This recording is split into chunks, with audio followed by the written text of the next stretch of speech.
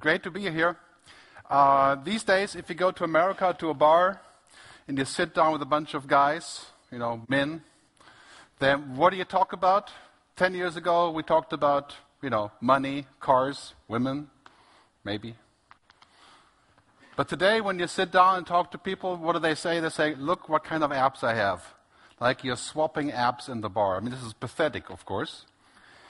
But that's what happens when you sit down with guys. Everybody pulls out their phones and, and compares apps, right? That's what we do now at the bar. It's a, it's a very strange world.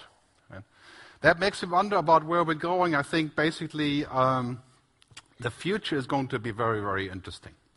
Because one thing we can imagine, of course, now is that everyone else in Brazil and Russia, India, China, uh, Indonesia, uh, worldwide, all these people are coming online in vast numbers. They're called the other 3 billion.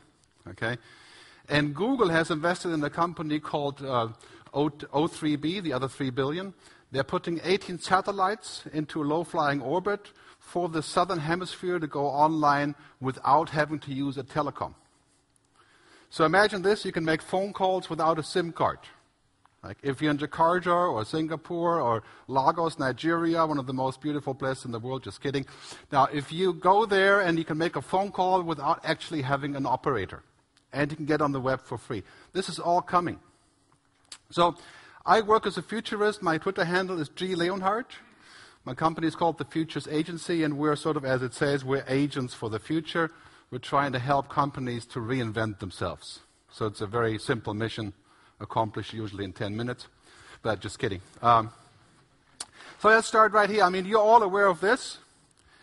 We have an explosion in how people use the mobile internet. In fact, some people are saying that we're going to have maybe 10, 15% of the internet on mobile devices in five years. I think it's going to be the reverse. 90% of all internet traffic will be on mobile devices. Because these boxes over here, computers, right, they're for work. That's what they do. Right? Mobile internet is not about work. It's about connecting. It's about banking. It's about buying stuff. About recommending. About downloading. You know, all these things, sharing things. Right? So look at the traffic that we're seeing here. I mean, from a measly 300 petabytes or so in five years to 7,000 petabytes a month. Right?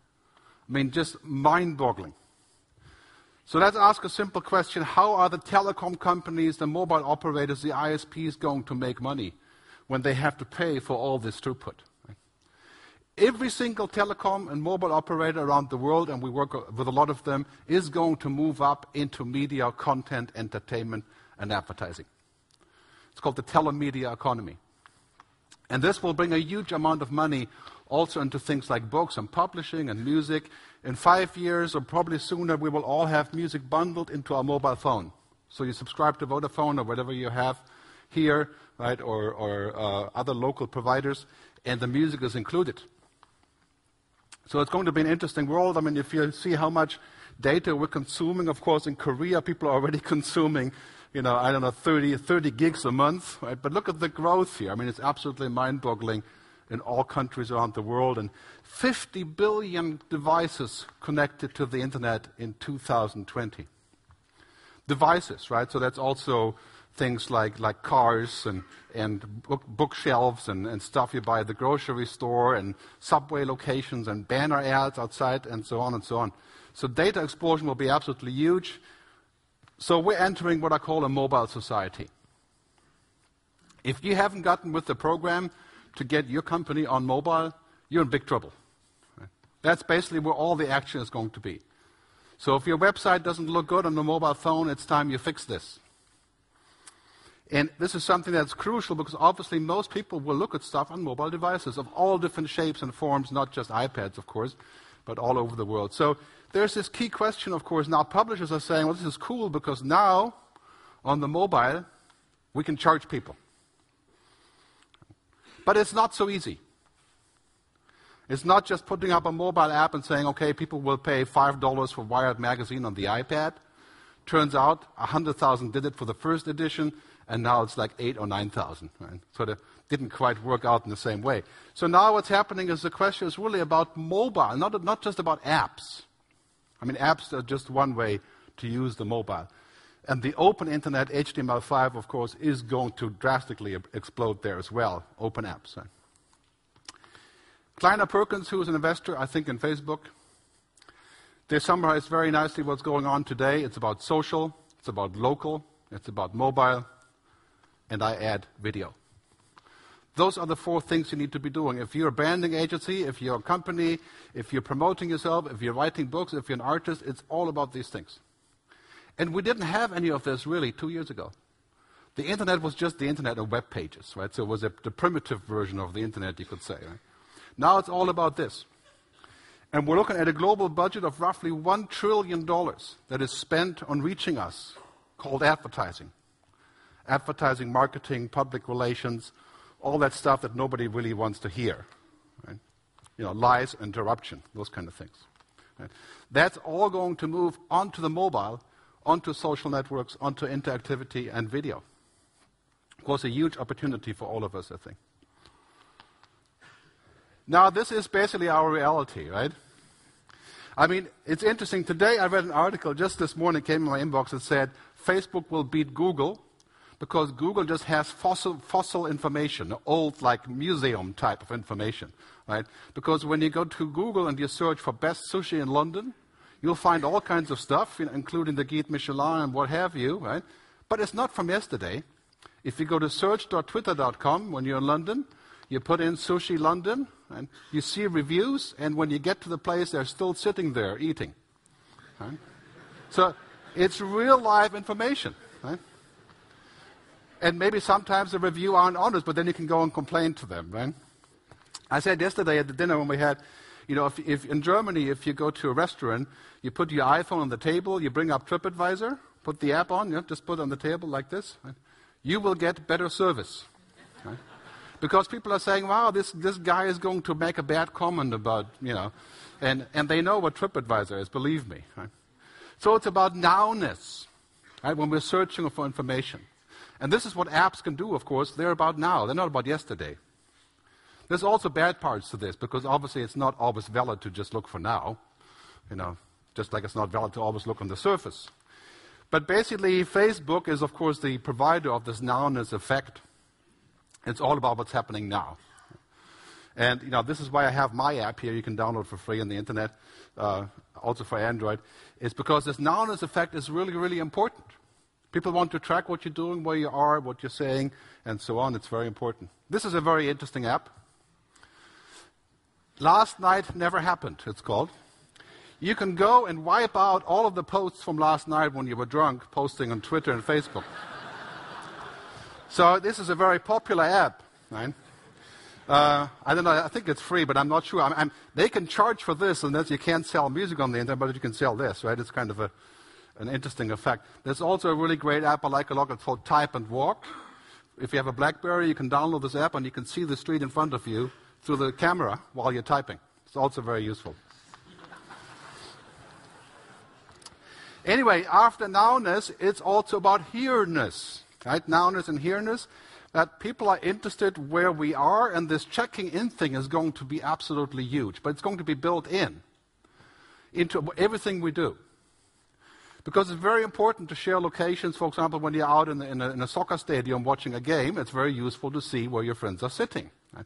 Wouldn't be that useful when you're out in Amsterdam doing all kinds of things. You know, maybe you wouldn't switch that off, but it's a different reality when you get into nowness, right? Basically connecting with people. And this, of course, is mostly done by kids today. And then we have this interesting convergence that's happening is newspapers are becoming TV stations, and TV stations are becoming newspapers, and, and uh, record companies are becoming publishers, and so on. So we have this convergence, right? Books you can watch, in TV you can read. So guess what? If you're in the media business today, that means you're in all of the media business. Right? And that's a real challenge because most journalists aren't so happy to be on video. They never signed up to be on video or to make an audio podcast, right? But that's our reality. It's a multimedia world now. It's a cross-media platform. And then we have this. This is a huge change in terms of money. This is what keeps the banks up at night in companies like Visa, American Express, PayPal. Mobile apps that you can pay with. I would venture to say in five to ten years we won't be using a lot of credit cards. Here in Europe, of course, credit cards are really established, just like America. But in developing countries, people will use the mobile app to send money. This is Google Wallet. Works with an NFC chip, near field communication. If you download the app, you have the chip on, you can go in a grocery store and pay with this thing. You can already do that, of course, in, in Sweden and other places. Right? But imagine this, right? Imagine you can go somewhere, anywhere in the world, you can send the person sitting next to you who has just given you a book, right? You can send them $10 through the mobile. That is going to be the reality very, very soon, and apps will do that as well. And Facebook money, Facebook credits, will become the biggest currency after the dollar. I'm not joking. Maybe even before the dollar. Bad dollar for the bad thing for maybe the euro. You know, who knows? I don't hope so. But basically, what's happening on Facebook is that you can make money and you can spend money. So if you buy Facebook credits, you can already buy real life things like Delta Airlines tickets or Warner Brothers movie downloads. You can watch Batman on Facebook.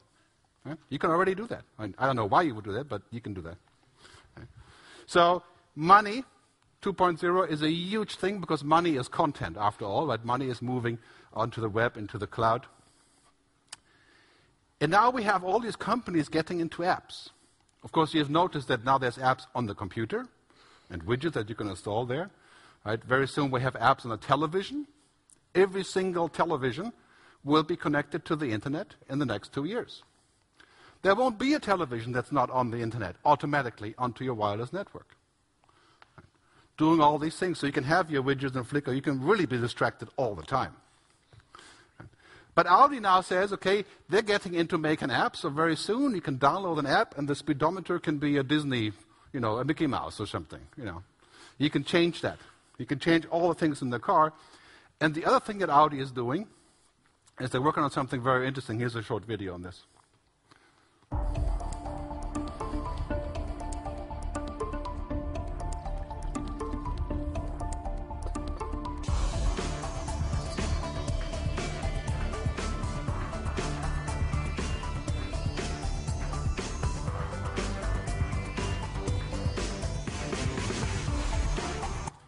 The self driving car. Why in the world would you buy a car that you're not driving yourself, right? I mean, this is, of course, mad, right? But Audi knows that in the next five to ten years, self driving cars, where we just sit there and do our email or whatever, or eat, or other things, you know, Audi knows that this is going to happen. And this is going to be a big part of their business, which is cars that drive themselves. So all of a sudden, we're basically looking at new roles in a new ecosystem.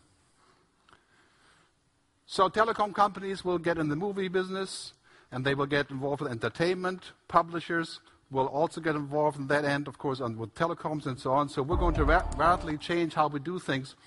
And basically what we see now is that if you have kids, you know what I'm talking about, right? Kevin Kelly says we're no longer people of the book, we're people of the screen. And this is a whole new reality. People of the screen are just not the same kind of people. Because they can instantly rate things, they can recommend stuff, they can forward things, they can share. Right now, 23 million uploads every day on Flickr, 23 million new photos, 20, uh, 22 billion minutes spent per day on Facebook. That's every fourth minute on the internet. And what are people doing there? They're sharing stuff. Right? That's what they do there. So the idea of people off the screen is going to be humongous. I mean, we're talking about huge branding possibilities, direct connections with fans. There's a website called Kickstarter that you may know. There used to be one here in Holland called Sellaband. But Kickstarter allows people to fund projects that they like directly. And last year, Kickstarter raised $47 million for people where you can go and say, I want to write a book. My fans will fund my next book. Um, you know, of course, it doesn't work for everyone, but it's uh, direction that we're going. And then, of course, you have people doing all kinds of things with screens. You know, that's kind of aberrations. But if you have kids, you know what I'm talking about. So here you see the typical weapon of the consumer. Uh, this is an app called Flight Tracker. If you use Flight Tracker, you can be sitting at the gate and if there's a delay in the flight, you will know about this earlier than the woman at the gate. Right? Because Flight Tracker has all the cool data and the woman knows nothing and she doesn't care. Right? This is the worst part, of course. Right? So this is user empowerment. Right? So you know the flight is canceled, you, you can be the first one to rebook. Right? I mean, this is what everybody's doing now. It's total consumer empowerment. So the record labels, the media publishers, the companies, the banks, insurances, the governments, they have to put up with us now. And if you're running a company that wants to sell anything, if you don't empower the user, it's basically day over for you. I mean, this is the whole thing you need to do is basically empower people in an environment that doesn't mean your marketing is going to be about captive customers. You know, in marketing we use all these military terms you know, campaigns and targets and, and uh, mission accomplished. And, you know, as we're in the army. Right? It's not about the army. It's more about Woodstock right? for marketing. And it's basically saying, okay, we need to untie these people and empower them. This is from my iPad last week. I love the iPad, I love Apple stuff, but many of these things are just pure prison, right? I mean, I connect my iPad to a display, and it says I can't play my iPad connected to this display because it would be possible, in theory, to record from the display. Right? Imagine the lunacy of this. Right? I mean, I paid three euros for this movie. I can't use a display because I could possibly record it. Right? I mean, what kind of paranoia is this? I mean, this is the best way to be hated. Right? I mean, talking about the music business, right? I mean, four years straight in America, the Recording Industry Association of America is the most hated company in America. And why is that? Because they do this every single day. You can't do this because we have other plans for you. Just sign up. So that's the antidote to the empowerment. And what we're seeing right now, the music industry has to be greatly complimented on this. Uh, the revenues have declined by 71% in 10 years. So mission accomplished. You've made yourself superfluous. Right? There's a lesson that we can learn from this, right? Basically, don't do this. Anything you do to take away the power from the consumer, they will find out. They will make it impossible for you to do this because now everything that we do is moving into the cloud. And yesterday was the announcement from Apple, iCloud. In my view, not really a big deal. It seemed bigger than it was, but but we already know this. Spotify, Simfy, all the cool music services, Netflix in America, right? Everything is moving in the cloud. So music, movies, television, education. All of our educational materials, textbooks, slideshows, videos will all be available in the cloud, already are from MIT, for example, in the OpenCourseware project. Government records, health. You'll have an app that basically has your entire records in the phone. And if you want to give your records to the, art, to the, to the doctor when, you, when you're in a car crash or something, you can just pull it off your phone. All in the cloud. I mean, this is basically going to happen, and it's going to be a huge change in terms of how we live, because when we don't have the cloud, we can't do anything. It's like, have you ever experienced when you have car navigation, and you're in the middle of a city, and you have to make a turn, and it goes off, there's no satellite, right? So then you're in trouble, you just have to make your own gas. Right? That's a big problem. So everything moving into the cloud, and then we have a big change in society as we, we can see now on a worldwide level. We can no longer make money by ourselves. This is kind of interesting because until now, we have big empires, media companies, banks, making lots of money, you know, Disney, Universal. You know, it was possible to run the business entirely by yourself.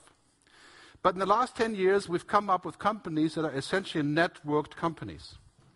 Uh, they're, they're actually co-creating a model. That's Google, eBay, Skype, Twitter. 80% of Twitter traffic does not come from twitter.com. It comes from a thousand companies who build the tools on top of Twitter, like Hootsuite and TweetDeck and all the cool stuff that we're using. And if Twitter goes offline, all of these things are gone as well. So we're now entering an in the interdependent society this is a great movie that just came out, Connected, connectedthefilm.com. Here's a short clip from this movie so you can understand what I'm trying to illustrate here.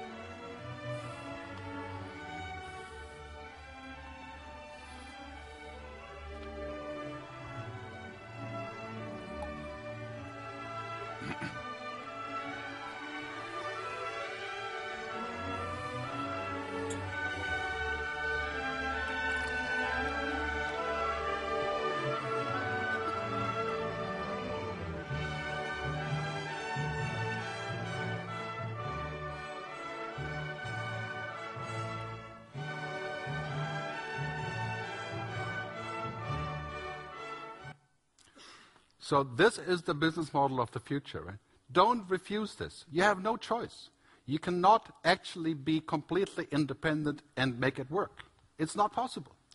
Because everything is connected now. Every commercial process, every buying and selling is connected, whether it's business to business or consumers. Right? It's about interdependency. And of course, that's what apps are teaching us as well, right? We have to connect to other people's databases, right? The coolest stuff today happens through APIs, application platform interfaces. So you can, you can mash up Google data and Twitter data and Facebook data and all kinds of other things. And for example, Flipboard that you may know, right? It's, it's a great app, would be impossible without this.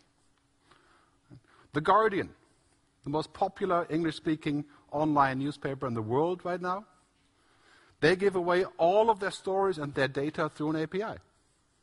You can just go in and create your own newspaper from their data. Right? It's very powerful. So now we're also people of the cloud. I'm sure Steve Jobs is very happy about this one. Uh, because now we like this, right? We like to live in a fluid society. So when you go to Swiss.com or Lufthansa.com, you can buy a ticket online, but you can't rebook. Right? You have to call them. And guess why? Because they don't like you to understand how all the rebooking works. Right? EasyJet, you can do whatever you want. Right? Okay, you have to pay for it, 30 euros. Yeah? Okay, but you can do it. Right? This is empowerment. Now what we have here is we like fluid stuff. Anybody is using Spotify here? Any Spotify users? Yeah? This is fluid. What a great business model. I mean, if the record labels wouldn't be so obsessed with killing it, maybe you would have a chance of having it around for a while. So Spotify Instapaper, anybody use Instapaper? It's a lifesaver, right? Instapaper is an app that allows you to download uh, web pages and articles and read them offline. Ever since I started using Instapaper, which is free in the basic version, uh, I'm saving 100 pages a day of printing.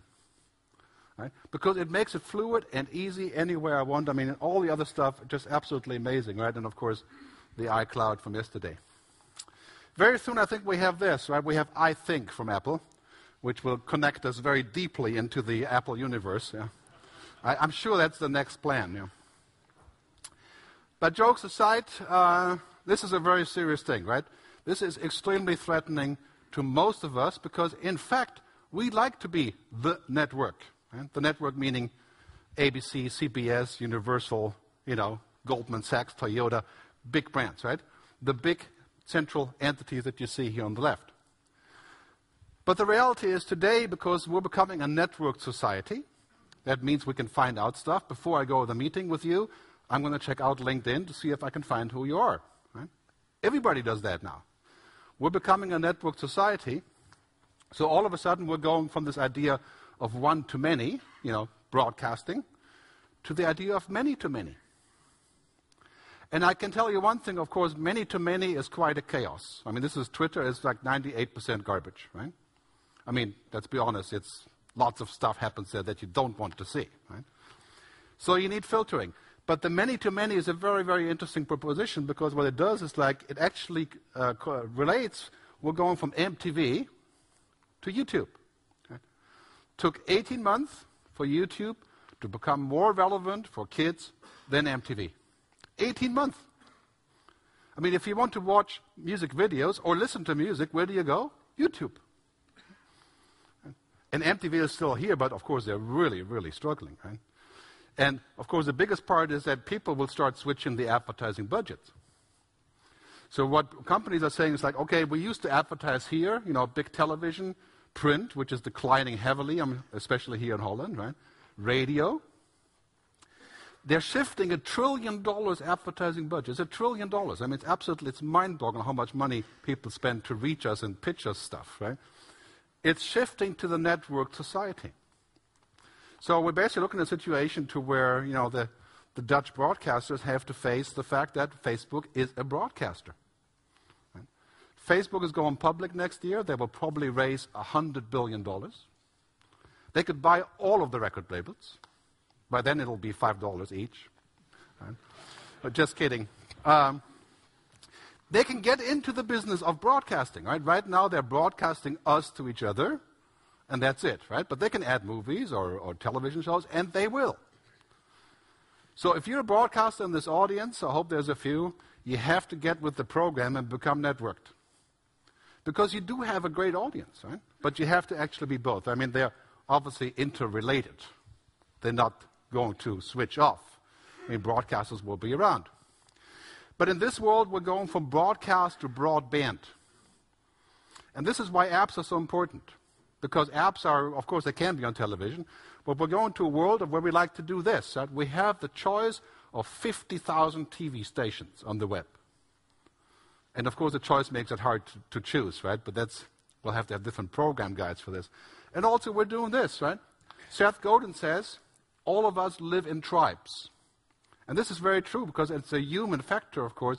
There's about 150 people around us that are important. And they can be online, offline, or both, of course, right? But basically, we're connected through mobile devices. And we're now living in a broadband world. Did you know that uh, every 10% increase in broadband or mobile penetration means 1% increase in GDP? People make more money when they're connected. That's a fact. Every single government around the world wants people to go online to save money and produce new economies. So now in a broadband society, and we're, we're completely different, this model will be turned upside down. So one thing we have to do, all of us, and this is hard because becoming networked means we actually have to listen. I should be talking because I'm not usually listening, I'm usually talking. Right? But we have to start listening because in a networked society, it's about conversation. It's not about monologue. This is how you do stuff. This is how you actually learn stuff. This is how you make things work, right? And the New York Times has allowed millions of people to log in and create their own page on the New York Times.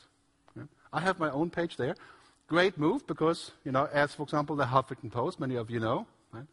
social news. It's obvious, right? People can read what I read and we can share very powerful stuff. Cosmopolitan magazine on Facebook, you can read. Wall Street Journal on Facebook. You see how many companies are already getting more leads in terms of traffic from social networks than they are getting from Google. CNN, USA Today, People Magazine, the, uh, the, the blue bar is traffic from social networks. If you're not engaged in so called social networks, right, you have to get in because it's about the network society. It's not about Facebook or Twitter. It's about having a conversation. You see how many pages are now getting the Facebook like button? I mean, you can't even get around anywhere on the web. I mean, now you can go to real places like, like a slide uh, in, a, in a fun park and you can like the slide. You know, you can actually like real life things, right? I mean, it's absolutely mind boggling. So, this is new television and radio. I mean, that's Twitter News Network, TNN, be bigger than CNN in less than five years. Put the fear of God into the cable, guys. It's like cable television without the cable. Right? It's going to be absolutely huge. And, and there will be a tab here in about 12 months that says music. You just click on the tab and off you go. So brands must now also become network, which means they have to become human. If you're trying to sell something, you can't just be sort of an amorphous entity that pitches you stuff. Right? You have to become human. This is uh, American Express, the open forum. A really cool app.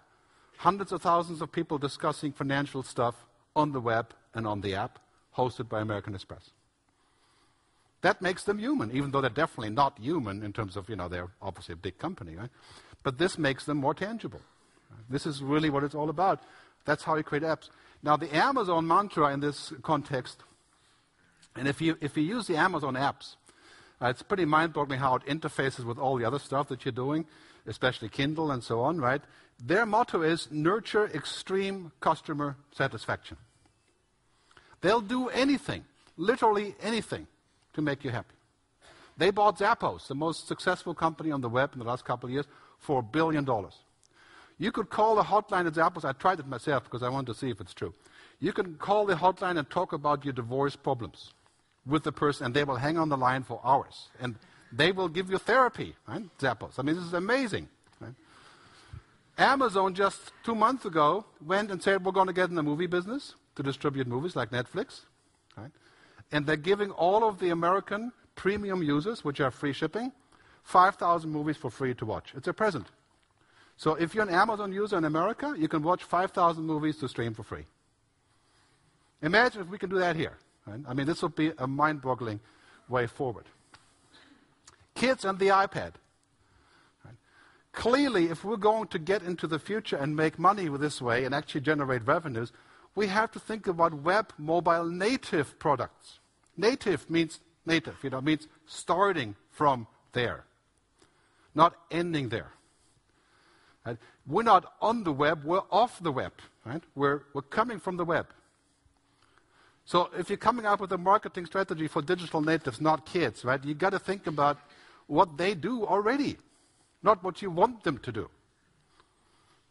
I mean, this is a whole different cup of tea. So if we're going to come up with apps that are supposed to make money, they must be unique, they must be irresistible, they must be totally affordable, they must be a wipeout. And there are a few. For example, I love these two. Flipboard, of course, is not from publishers. Ha, needless to say, they didn't invent it themselves. But this is the most popular app for reading now. And the other one I really like is Popular Science from Bonnier in Sweden. They really hit a gold mine because instead of saying that you have to buy the magazine every time, it's $15 a year for all of the magazines. If you like this kind of stuff, it's a good deal and it's really a great app.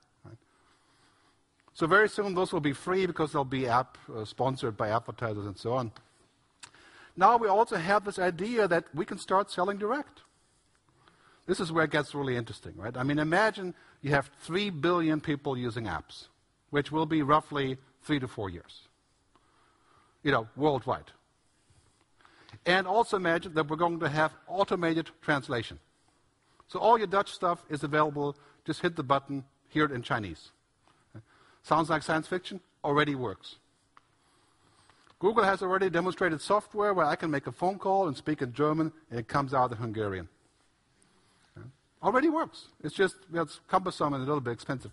But basically, selling direct becomes important now because now we can say, like, like these guys from O'Reilly Publishing, we can add in app commerce.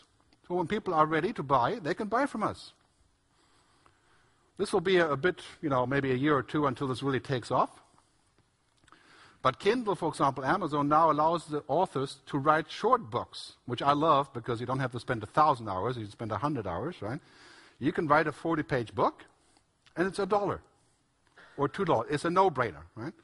So a whole new format comes up. So when you think about commerce on apps, think about new formats. Think about new ideas rather than replicating the old stuff, which won't work. Right? So apps are clearly not a magic wand. Here's our friend Rupert Murdoch. Right? He says, we'll have young people reading newspapers. Uh, it's a real game changer because now I can finally make more money. Right? It's not going to work. They won't read newspapers, they will read news. Take out the papers. Okay? They're interested in news, but it's all about the wrapping. I mean, if you look at here, it's like the amount spent on apps. It's quite interesting from the Wigan Entertainment uh, Congress recently. But not a magic wand. This is even more depressing if you think about selling stuff, right? You're going to have to be a bit smarter than that. Like, you know, my way or the highway, like uh, Rupert likes to do with his newspapers. You know, you come in, you, you tell to booger off and pay. Right? That's not going to work. Basically, here, paying for mobile content, clear answer how much would you pay? Answer is would not pay for this. Right? 70, 80%. So what you have to do is you have to say, well, let's see if we can bundle it and package it and include it and start with the free version and upsell. Right? The most successful business in this decade of the internet is the gaming business. Right? What do they do? It's the addiction model. They let us download stuff for free. World of Warcraft, yeah? You download, you play for 10 hours, and then it says, now you played for 10 hours, you can give us $20 and you can unlock a bunch of weapons. Right? Or you can get the next 50 levels, and 80% of people are converting. Because they're already in. And it's not a lot of money. So this kind of idea of packaging, upselling, right? And clearly I get this question all the time, will we have closed apps, you know, the Apple universe, or Android and open? The answer is, of course, we'll have both. Right? Depends on what you like. We don't live in an, in an yes or no world anymore. This is, of course, unfortunate because we would like it to be more simple, but it's not. Right? The reality is that we live in a completely fragmented world.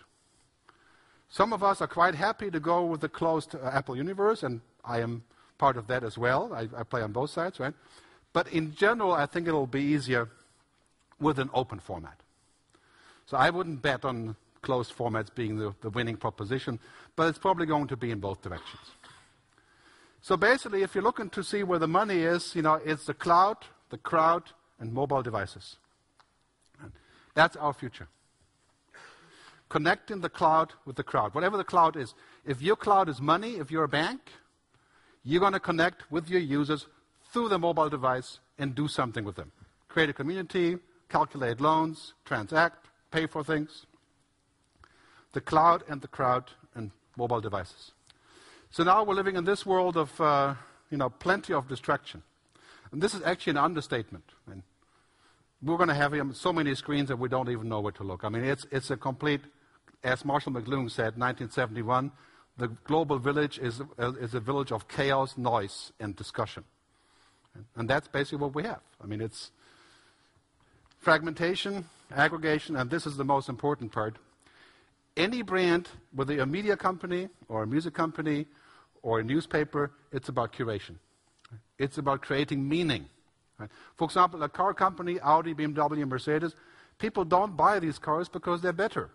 Clearly not, because they're all equally good. I mean, you could say you like brands better, but it's about what you think is a fit. Right? It's the curation that actually matters. This is why Audi is getting into apps. There will be people buying an Audi because you can customize your speedometer. Sounds bizarre, but that is one of the criteria. So that's what apps do. They allow us to curate. And remember that in Western Europe and in America, in, in, in uh, developed countries, we don't really have a money problem. We have a time problem. So for us, we'd rather have a little spent on something that is relevant and important and timely and useful. We spend something, so our time is more important than money. So therefore, curation is a money maker. That's what newspapers are all about. That's what television is all about if they're good. I'm going to skip ahead a little bit because otherwise we'll be here at midnight. And um, you know, as you can see, I was quite optimistic on, on your uh, level of exposure here. But okay, talk about my favorite subject, right? Lying. Okay, you can basically say that in the past we spent a, a trillion dollars on either yelling at people through advertising, interrupting them, or just plain out lying to them. We all know that Domino's Pizza isn't good. So Domino's Pizza found out last year when they were relaunching that everybody thought their pizza tastes like cardboard. So they said, well, we can't do this. The first thing before we do marketing, we're going to go and ask people to actually reinvent our pizza. And I think it's called Rethink Pizza or something like that. Right? And this was extremely successful because before they did any marketing, they had to stop lying about their pizza. They had to actually fix it. Right? So if there are issues in your company, whether you're a bank or, or, or a, a, movie company or a production company, if there are things wrong, you have to fix those first before you make an app. Because people will find out, and we can find out anything now. I mean, this is, uh, if you go to search.twitter.com, just put in the name of your company or a product, somebody is having a conversation about you at this very moment. So no matter what you think of WikiLeaks, which I happen to think is a little bit overdone in terms of the transparency, but transparency becomes essential now. I mean, essential in the sense you can't hide anything, you can't lie, because it's impossible. I mean, basically, people, everyone here today is already public in our profile, so we can find out things about you, right? I mean, what reigns right now is a, a principle that Jeff Jarvis calls publicy. That's opposed to privacy. This is, for us Europeans, is extremely difficult to understand, right? Because we are interested in privacy. But there is an issue here, right? All of us, because we're in business and you're here doing this, right? You want to be found. That's why many of you, I would bet, are on LinkedIn or Xing or Facebook or Twittering or whatever you're doing, right? people are connecting with you, and that's a benefit. But the result is you're a public person. We're now, by default, public. And if we want to be private, we have to go and, and fix it. We have to change our settings. Right? We have to take stuff out. I spent 20 hours two weeks ago wiping out stuff on my Facebook profile, unfriending my wife, my kids, uh, just cleaning up. Right? Because the public effect means we have to take responsibility. It's, it's about responsibility, not about regulation. Right? So this is a very, very big learning process because all of a sudden we have the power not just to make fools of ourselves, but as you can see here, this clothing store, Kenneth Cole, was making a joke about the Egyptian revolution, right? saying that really what was happening is that they were queuing up there to buy clothes. Right? This cost them several hundred million dollars in sales. Right? This one tweet. Because people were saying, like, there's no way I'm going to buy anything from these people. BP, when the oil disaster happened, BP said, oh, you know, it's just too bad, you know, we'll find a way to fix this, right? Within three hours, you had this website come up on Twitter, BP Global PR, but it wasn't BP. Right? Was somebody playing the role of BP? 170,000 people already on there tweeting as if they were BP, right? Imagine the damage that that caused. Right? So the bottom line is you can engage or you can be engaged. That's your choice. Look at the music companies, right? 71% decline because they refused to be engaged and now they are engaged anyway. It's your choice if you start it or if somebody is going to force you. But if somebody forces you, you have to have a major lawsuit for two years to get rid of this Twitter feed. Right? and it's everywhere on the web. So you better get engaged quickly. Uh, I'm going to get to a wrap up because I'm, I'm uh, getting kicked off the stage here. Okay, uh, let me give you a quick wrap up here. I will make a, the slideshow available for downloading later so you can see all the cool stuff you missed. You can also go to gerdtube.com and watch about 200 hours of videos. Um, anyway, so an important principle of what's happening in apps and on the web in general is this principle. Freemium feels like free and free. This is not new, it's just more pronounced on the web. All of the success stories that we have today on the web, many of them start with free. I call it feels like free because it's not actually free. It's part of something else that makes money. So the trick is, for example, LinkedIn. Most of you are using it for free, or Skype, right? but LinkedIn made, last year made $350 million because some of us choose to pay the $20 to get more. So this idea, basically LinkedIn, Amazon, Popular Science? Starting with some sort of idea of creating an upsell. This is a very, very important principle. So now let me summarize real quick, and then I'll get off the stage. Um, we're living in this world. We're living in a networked society of broadband culture that's mobile, that's social, that's video, and you can't refuse. You can refuse, and that's sort of like, you know, live off the grid, on the grid, like Matrix or so, right? It's not that extreme. But this is our world now. And it's completely interdependent. That means you have to be transparent, you have to talk to people, you have to create conversations. So, this is the world of where we need to co invent new business models. If you're a brand, you have to talk to publishers. If you're a publisher, you have to talk to, to uh, labels, I mean, to, uh, to ISPs and mobile operators. Right? You have to connect and invent new models. Google is the champion, of course, of this model to create new ecosystems. And it's, it's quite a hard job, actually. Also, it's important that when you do an app or a web page or whatever you do, you create an experience. Something really important. Harley Davidson, for example, has a website to where you can go and you can share stories about your rides. Right? It's called the Riding Club. Right? You go there and you share experiences, and that's really what makes it work. The new money is in the cloud and the crowd, okay? connecting the cloud and the crowd. The next five years, all of our stuff will move into the cloud, and we're going to find interesting new ways to actually synchronize the two. It's not about being noisy, it's about being relevant. So if you're making noise, stop making noise. Okay? Make relevance. Otherwise, don't bother. Because we're beyond the stage of noise to where it was fun just to tweet 500 times because you can. Okay? Make it relevant, make it meaningful. Anything that's not connected to each other and to others will fail. So an app that doesn't connect to the outside world, most of them will fail. Right? Closed guard, walled gardens, no matter how nice they are, like Apple's walled garden, is a great garden, beautiful flowers. Right? They won't fail, but most of them will fail. Right? So don't build a walled garden. And last but not least, this is the bottom line, and disrupt or be disrupted. That is the choice that we're having today. Somebody is already looking at your business and saying, wait, wait a minute, we could do this and destroy them. And chances are it'll be 1,000, one of the 1,000 of Google's alpha projects that is going to have some impact on you in the future. So bottom line, what I recommend that you do is you embrace this, right? User control. At all times. Like Amazon says, providing a really, really top level experience, right? So that's the opportunity, user control. When you think about apps, think about user control and empowerment. Thanks very much. Here's my stuff. All my books are free on the web. Just Google Gerd free PDF and you'll find it. Thanks very much.